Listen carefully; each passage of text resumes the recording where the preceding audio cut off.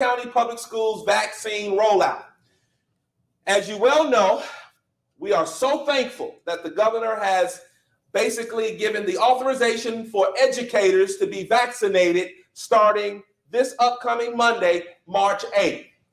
This decision has been critical to our decision to reopen. So we're very grateful, very grateful that now educators are in a position to receive the vaccine. The district has entered into an MOU, we call that a Memorandum of Understanding with the Clayton County Fire and Emergency Management Office Department. We have finalized that MOU and we are prepared, preparing or prepared to administer the COVID 19 vaccine.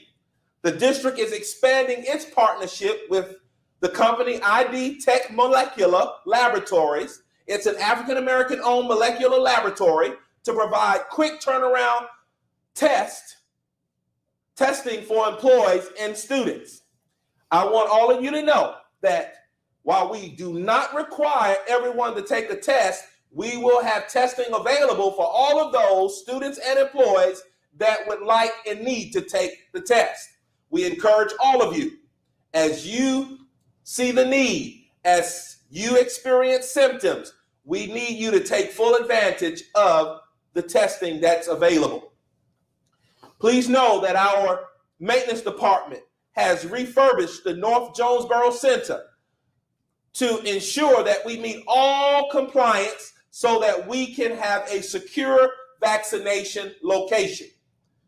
Remember, that location is right here in the central office complex. Our nurses here in Clayton County, they have completed the required training and observations with the Clayton County Health District to support the vaccine site. Our technology department has developed an employee vaccine registration appointment portal to manage scheduling, and all employees will access that in the portal, in, in the employee portal.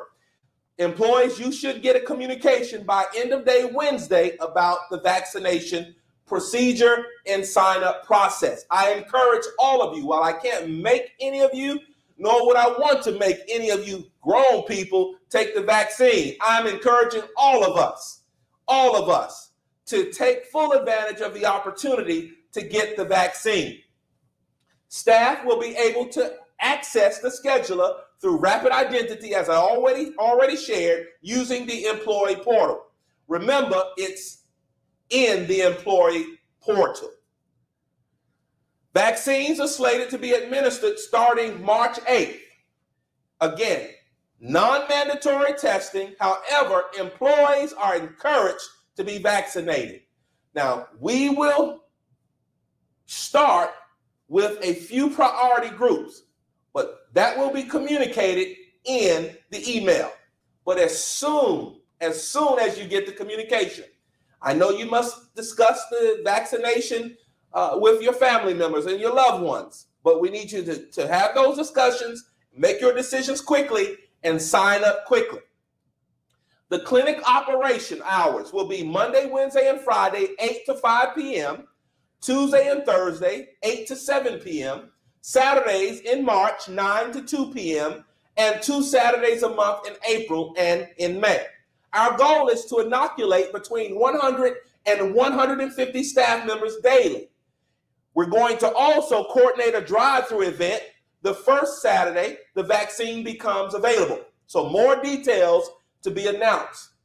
But a part of our reopening plan is to ensure we mitigate with testing being available for those who need to be tested and that we participate in the administration of the vaccine.